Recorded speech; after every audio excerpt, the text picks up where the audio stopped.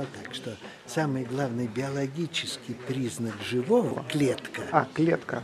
Самый главный физический признак живого – машина. Один маленький комментарий к этому. Этот признак очень точный, но он недостаточный. Если у нас есть машина, это значит, изначально ее должен создать кто-то живой. Значит, живое было я до я этого я механизма. Я скажу, нет. Значит, есть на самом деле просто преобразователи энергии, да? Ну, циклы вот в природе, о которых Да. сегодня говорили. Есть преобразователи энергии, которые создают структуру. Это активные среды с автоволновой самоорганизацией. На этом принципе работают многие клетки, органы и так далее. Живое. Популяции работают по автоволновому принципу самоорганизации, поскольку все это активные среды. Вот. И на самом деле, как только активная среда, которая умеет создавать выделенные степени свободы, научилась запоминать конструкцию, она стала машиной. Активная среда – это рабочая часть машины, а ну, геном – это, это запоминающая конструкцию часть всего цикла. Значит, есть исполняющие машины, есть в геноме машины, есть машины, которые делают эти машины.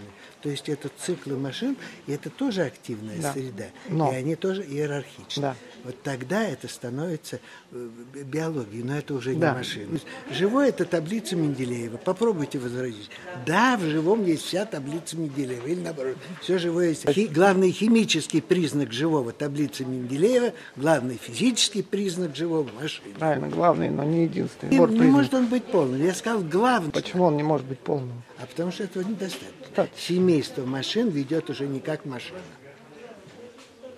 Ну, можно туда распространить это понимание, но это уже биология называется. А инструмент Поскольку э, живая система развивается, если брать биосферу, допустим, просто по э, с- в результате способа своего существования. А способ существования включает постепенное накопление свободной энергии, информации. И если э, когда-то начнется новый этап существования биосферы с какого-то э, ну, более низкого уровня, то он опять пойдет вверх.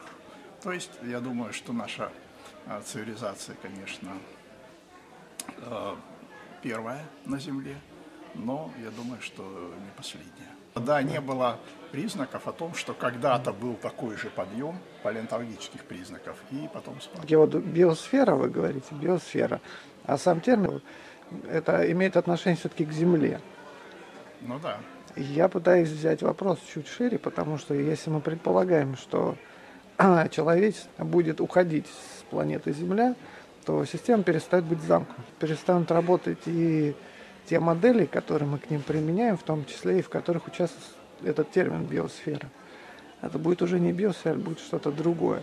И будет ли вообще попытка вот уйти? Мы говорим о событиях разного масштаба, потому что Солнце будет светить 5 миллиардов лет.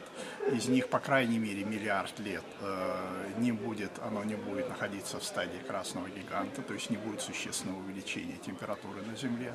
То есть, по крайней мере, миллиард лет э, спокойно. Нет, на обозримом, на обозримом этапе э, времени, конечно, это Солнечная система. Что будет через 10 тысяч лет, это неизвестно. 40 науки.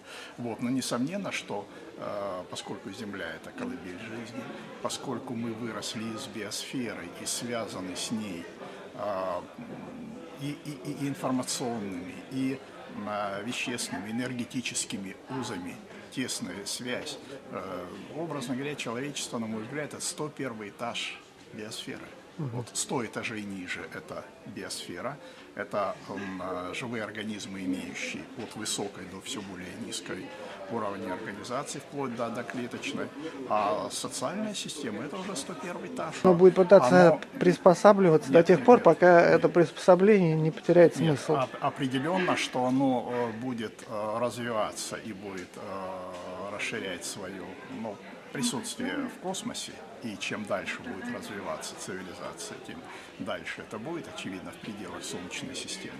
А, а И если мы будем э, колонизовать, надеюсь, окружающие космические тела в Солнечной системе, то в любом случае вот база, как бы материнская э, среда, это все равно останется Земля. Поэтому и вопрос о ее сохранении жизни на Земле. Конечно, он будет всегда. Может ли попытка детерминировать живое и неживое, Что значит детерминировать? ну, определить, Да.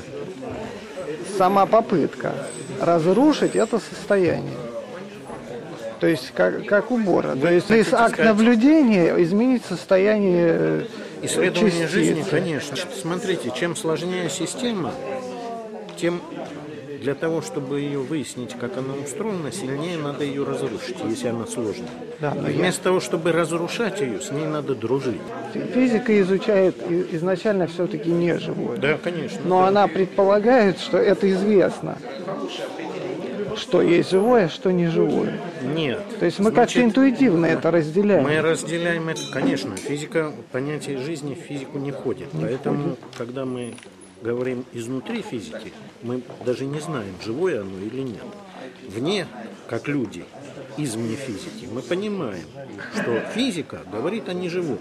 То, как мы понимаем живое. Свойства живого, даже терминология, в, котором, в которой они описываются, они в физику не входят. Попытаемся, Да, попытаемся говоря- понять, живое или не живое, и оно меняет свое состояние от этого. И в итоге мы не можем этого Ну, определить. Правильно, Бор об этом вообще говорил, что когда мы пытаемся понять живое, мы вынуждены его разрушать. В качестве примера принципа дополнительности. Ну, кто сказал, давайте сначала определим, что такое жизнь. Я сказал, ребят, вот давайте не будем этого делать. Это совершенно бесполезное занятие. Терминологические споры и всякие, значит, извращения на эту тему никогда не продвигали науку. Поэтому давайте заниматься тем, что исследовать процесс. Вот от большого взрыва до того состояния, когда мы все согласны, что это жизнь. А для меня жизнь – это когда ему вкусно